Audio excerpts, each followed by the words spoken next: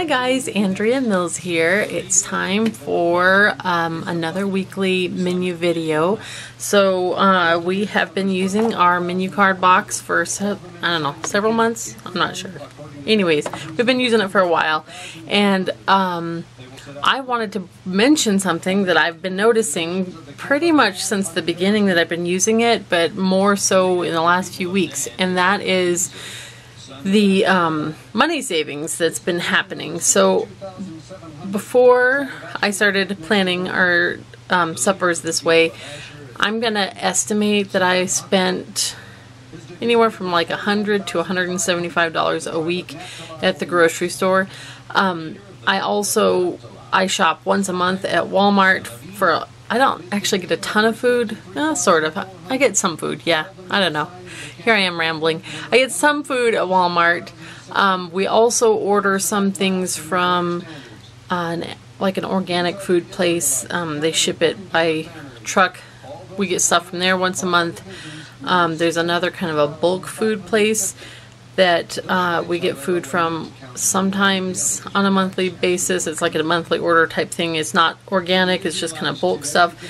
Um, but where I get most of our like fresh fruits and vegetables and meats and you know just fill-in type things um, I get at a weekly trip to the grocery store here in our um, small town. So it's just a very small store. It's got um, four aisles, I think, and they're you know small. Anyways, it's just not a very large grocery store.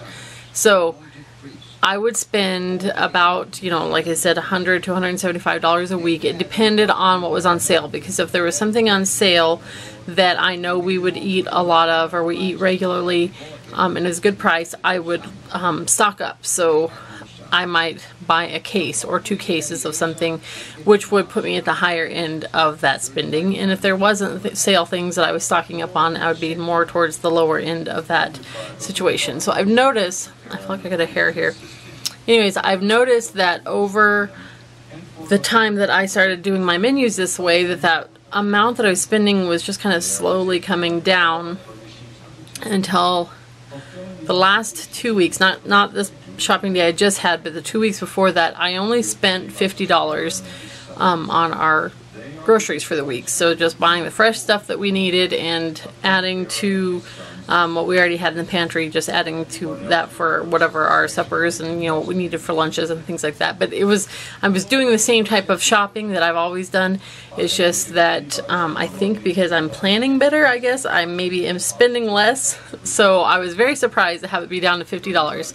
Now this week I spent ninety dollars, um, but I did get uh, soup was on sale. So I bought 75 cans of soup at 59 cents each. So I'm not sure how much that was. I didn't look at my receipt to see what the you know breakdown of the $90 was. I could do the math, but it's probably I'll just sit here looking silly trying to do it in my head real fast. So anyways, um, without that, even with that, I'm still like coming in basically at half of what I had been spending um, prior to implementing my menu card box. So that I find super exciting because that's not a benefit I was looking for. The reason I started or I came up with this whole system was just to I wanted to basically incorporate a lot more variety because I tended to keep making the same things over and over even though I knew how to make more things. It's just I wasn't necessarily planning ahead, so I would just fall back on things I knew everybody liked. Or you know I tried to write out a menu for a whole week or a month at a time but I didn't feel like it was very flexible if things changed. And it just took a lot of brain power every time to do it so I would procrastinate and I didn't like that. So I've been doing I came up with this idea of just putting all my menu ideas including side dishes on the note cards and then just cycling through them you know as we use one it goes to the back of the box kind of a thing. And it's just made life so much simpler. And I like the flexibility. So last week I had planned um, one of my cards for Friday night which it's Friday night now so it was last Friday night but Asher really wanted chicken alfredo that's one of actually almost everybody's favorite so instead of doing what we had planned for the night I already had stuff on hand for chicken alfredo so I made that instead but nothing goes to waste because the dinner that was card, you know, the card that was up just got postponed till the next night. So it's very simple and I really like that. So what was the other change I made? Oh, the lasagna. We were going to have lasagna last week, um, but Tom was not going to be home or he wasn't going to be eating with us on the night that it came up. So I switched that card with the one behind it, which was homemade oatmeal, because I figured Tom would enjoy eating lasagna more than he would eating the homemade oatmeal. So the lasagna is actually still coming up, even though that was part of last week's menu cards, because um, Wednesday I think would have been when it would when it would have happened. So then Thursday I'll guess I'll just start in here. Thursday, we always have pizza on Thursdays. Tom always makes pizza for us. And then tonight would have been lasagna night. Um, but I decided we really had a bunch of leftovers in the free, uh, refrigerator. So I decided we're just not going to use a card tonight. And we cleaned out the refrigerator basically for supper. So now lasagna and garlic bread and salad, corn, and ice cream are going to be on the menu for tomorrow night, which is Saturday. Then Sunday, I forgot to look again to see what our Sunday lunch is, but we always have a potluck on Sundays with whoever comes for church. So I don't plan a Sunday supper because everybody already had a big lunch, and so we just kind of do a make your own supper type thing on Sunday nights or clean out the fridge type thing.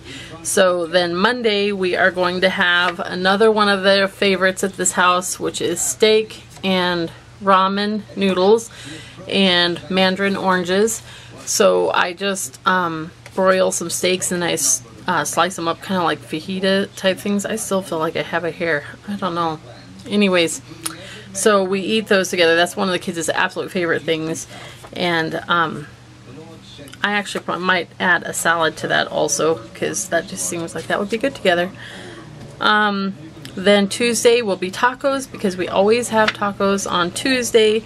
And then Wednesday um, is actually going to work out good. We're having chicken and noodles on Wednesday.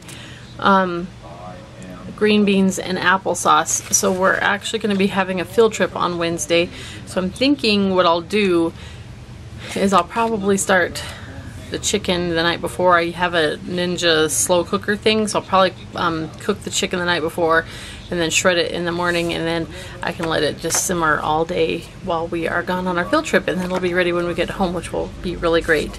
So that's the plan for our menu for this week and then oh I should tell you too I'm really excited I'm going to show you the pictures some of the pictures of some of the things that we had um, this past week for um, supper, but we have been doing for all my all my homeschool mom friends, and actually some of them don't even homeschool, but my mom friends come over on Mondays, and we have what we call mom school, and we do different courses together.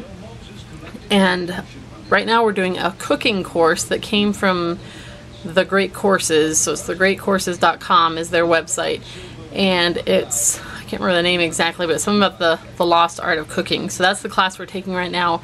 Um, if you watched our school vlog thing, you saw a little bit of it, but I have really been enjoying that. So this past week, our lesson was on dry heat cooking with fat. And so um, I made some fried pears to go with our homemade oatmeal this week based on kind of the ideas, which I know how to fry things, but I just, I guess I'm just thinking in a different way, so I'm really excited about it. So I fried up the pears, and then I made a caramel sauce without a recipe. I was so proud of myself. So I made the caramel sauce based on like the techniques the guy was showing in the um, little class that we took and the kids loved it. It was really good and I had mine on my oatmeal. The kids like chocolate chips on their oatmeal so they had their pears and caramel sauce on the side and then chocolate chips on their oatmeal but I just had mine right on my oatmeal and it was really good and I was super excited. So that is really neither here nor there, but I wanted to tell you about it. It was awesome. So here are the pictures of last week's food and we will talk to you guys again soon.